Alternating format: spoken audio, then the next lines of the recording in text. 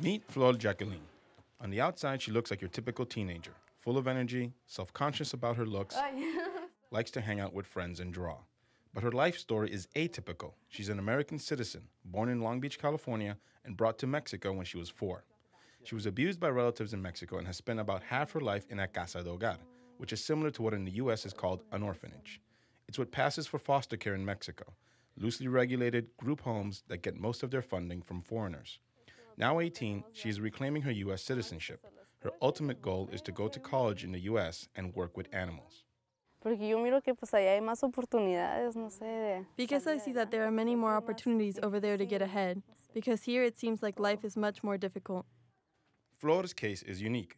Maria Dolores París Pombo has studied immigration and orphans at Tijuana's College of the Northern Border. Pero lo que sí es mucho más raro. What is rare to see are kids who are U.S. citizens living in an orphanage or in Mexico by themselves because someone from the U.S. will usually claim them.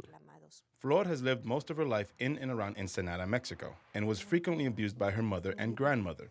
Y esa es mi mamá. She said her love for animals came because she viewed them as a refuge. She could talk to dogs and cats, and they would not yell back.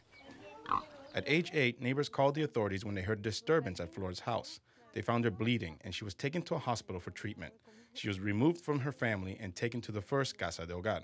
Attempts at reunification with her family failed, so she was placed in a second home and later a third, which she escaped from. Flor seemed destined for a tough life on the streets. One of her friends got pregnant when she was 15.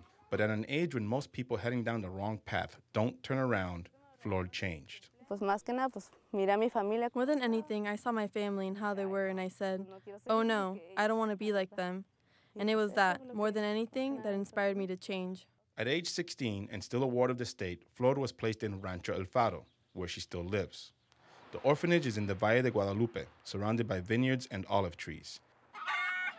Rancho means ranch in English, and that is how this group home is run. They raise animals and crops to eat. They wash their clothes the old fashioned way. The new kitchen under construction will burn wood because it's cheaper than buying propane. About 35 orphans live here. The majority are teenage girls. Most homes in Mexico will not accept children older than 12. Flor has spent many years in an orphanage, and she always knew that she was a U.S. citizen. But because she was a minor, she needed her mother's permission to cross over to the United States. Her mother never gave it to her. But now that she's an adult, she is on her way. Ya. The director of Rancho El Faro says Flor uses her rough childhood as motivation. Se enfoca en lo que ella quiere. She focuses on what she wants, and that should help her break the cycle of abuse and dependency that she grew up in, because it hurt her growing up in an orphanage. ¿Por qué? Porque le dolió a ella estar aquí, o sea, To help Flor reach her goal, an Orange County based charity called the Corazon de Vida Foundation has taken a special interest in her. Employees helped her obtain her birth certificate and have driven her to the U.S. consulate in Tijuana to obtain her passport. But why take such an intense interest in one orphan from the hundreds the foundation helps? Maricarmen McFarland Hernandez says Flor is a special case. Flor Jacqueline has a strong talent. She's a, she has a big, big heart. And she knows exactly that she wants in the life. The foundation wants to do more than help Flor claim her citizenship.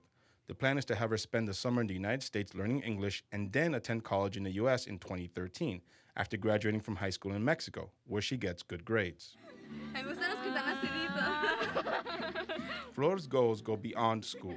She wants to help her family despite the challenges that poses. Flor wants to reunite with her mother and support her siblings, three brothers and a little sister who all live in Mexico. Despite growing up in an extremely dysfunctional family, she feels an obligation to be there for them.